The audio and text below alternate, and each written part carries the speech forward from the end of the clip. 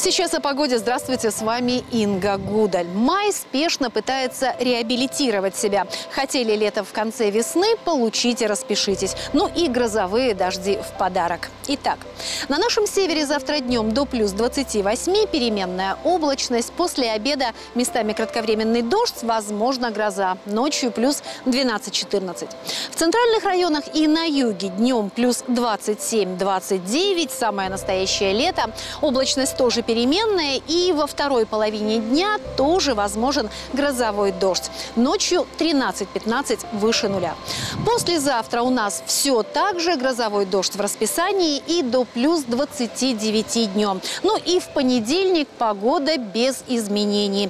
А, Плюс 27-29 ждем и опять же грозовой дождь. Ты один приходи, мы тоже одни придем. Наверняка это крайне жестокая стычка между котом и целой стаей собак начиналась именно с этих слов.